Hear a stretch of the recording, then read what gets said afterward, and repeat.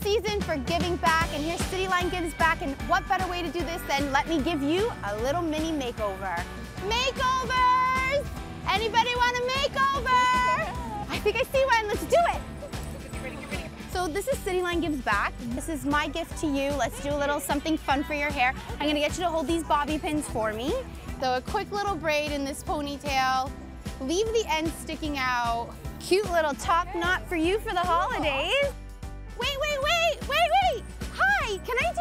makeover on you for Cityline? Yeah. All right, simple braid can go a long way. Something easy and simple and elegant for you to wear tonight. We're gonna put them right in the very front.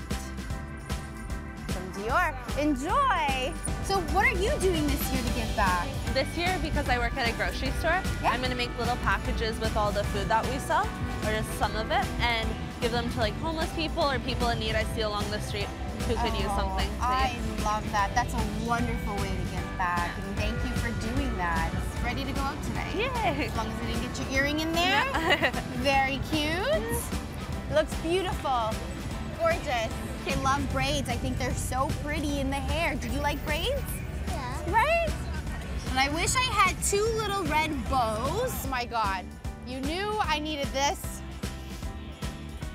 Totally dresses up the look, doesn't it? Adorable. I love it.